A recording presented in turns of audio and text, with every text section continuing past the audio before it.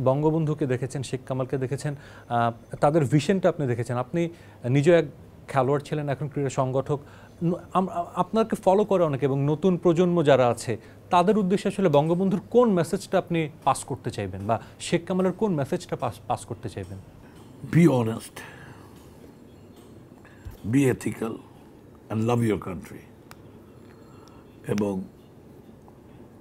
ওনারা আপনি যাদের বঙ্গবন্ধু শেখ কামাল, শেখ হাসিনা প্রাইম মিনিস্টার শেখ হাসিনা, এদের একটা জিনিস খুব common they love Bangladesh they love the country এই কথা বলতে আমার একটা কথাই মনে পড়ে কেনেডির একটা version ask not what your country can give you ask what you can do for your country এবং এই স্পিচটা মনে হলো যে একদম বঙ্গবন্ধু, শেখ কামাল, শেখ হাসিনার রিলিজিয়াসলি ফলো করে, তারা নিজেদের থেকে চিন্তা করে দেশে কী দিব? দেশের থেকে আমার কিছু দরকার নেই।